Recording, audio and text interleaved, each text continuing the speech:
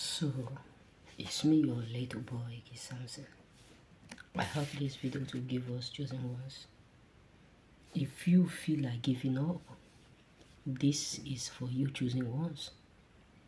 If you feel like giving up, this message is for you.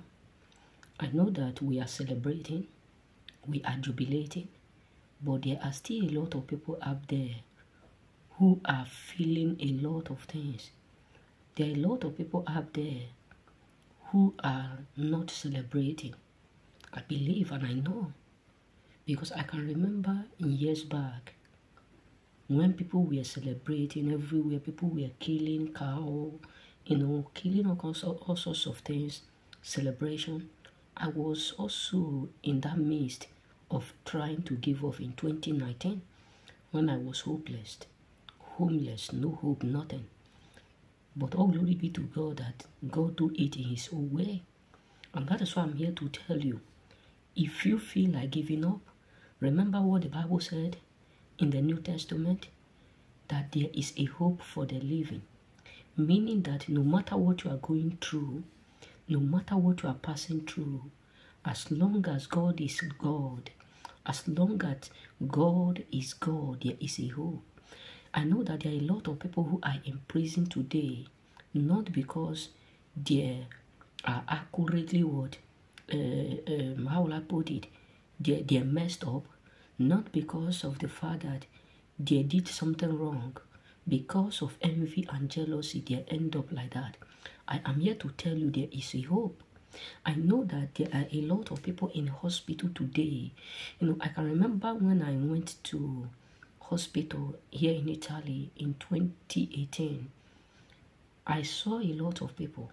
Even in this year, anytime I pass some hospital places, I do used to see a lot of people. I don't know what your situation may be. I don't know what the circumstances around you may look like. But I'm here to tell you there is a hope there is a hope for the living. You know, the Bible said the earnest and expectations of the sons of God will not be cut short. And the Bible make it clear in the book of Joel 2.25. It said, I will restore the years that the canker worms and caterpillar have destroyed. Meaning that no matter what you have lost, no matter the circle, no matter who you are, there is also a restoration prepared for you. That is what happened in the book of um, Esther. You know, when you read the book of Esther, chapter 4, each chapter 8, each chapter 5, you're going to understand that despite of everything that Esther went through, Esther was innocent.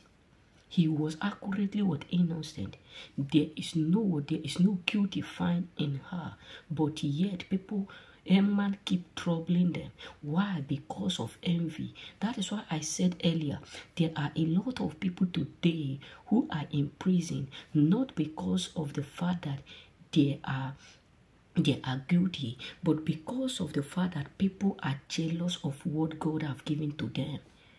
A lot of people today are in different places praying for God intervention. Hear me and hear me good.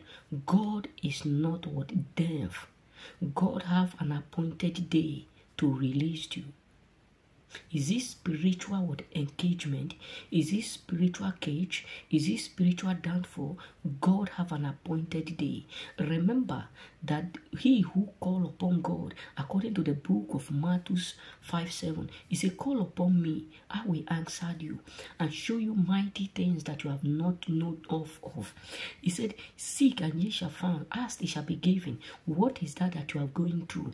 That anytime you look around you, anytime you look around your life, it look like your past is better than your present. I'm here to tell you there is still hope. So you have to understand. Paul said to us, he said, be courageous. For everything will work well for us. That is why you need to understand, despite of everything that the man in the gate gone through. When he still meet Peter, Peter still tell him, Silvers and gold I have not, but that which I have, I give unto you. I have nothing to give you. I may not be in that position to tell you this, but I am here to tell you there is still hope. Don't give up yet. Don't feel, don't quit. there is a greater hope. Jesus said to them, He said, I will go to my Father and prepare a table for you, even in right front of your enemy. What does that mean? That no matter what you are going through, what people are using to mock you, there is accurately a hope for you. No matter what people have used or how many people that rejected you, there is a still hope for you. It does not matter where the level you are right now. All I'm here to tell you is that there is still a hope. For everything we end up working well. Think about it. Nobody believed that David will end up become a king.